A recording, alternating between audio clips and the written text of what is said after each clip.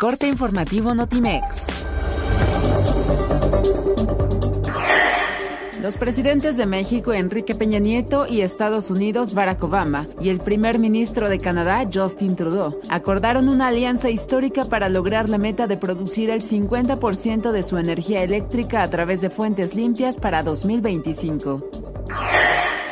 Al menos 10 extranjeros y 3 personas con doble nacionalidad figuran entre las 41 víctimas confirmadas del atentado de la víspera en el Aeropuerto Internacional Ataturk de Estambul, según el más reciente balance oficial.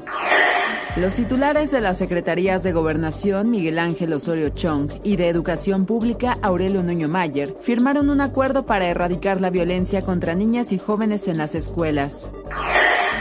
Una mujer de 45 años de edad de la oriental provincia china de Jiangsu dio a luz a una bebé de un embrión que congeló hace 18 años, informó el Hospital de Ginecología y Obstetricia de la Universidad de Fudan en la ciudad de Shanghái.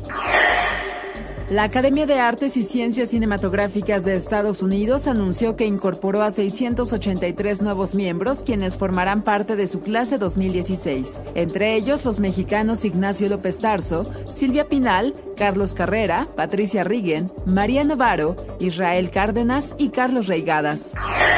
El Festival Cooben, encuentro gastronómico del Mayab 2016, ofrecerá cenas de gala, mesas redondas, talleres y un congreso en distintas sedes de Mérida, Yucatán, del 2 al 6 de noviembre. Esta edición contará con la participación de 31 chefs provenientes de distintos puntos del país.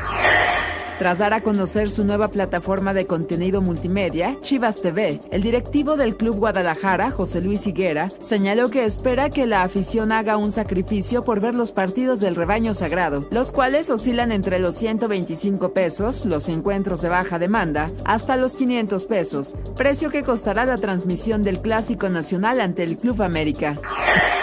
Notimex, Comunicación Global.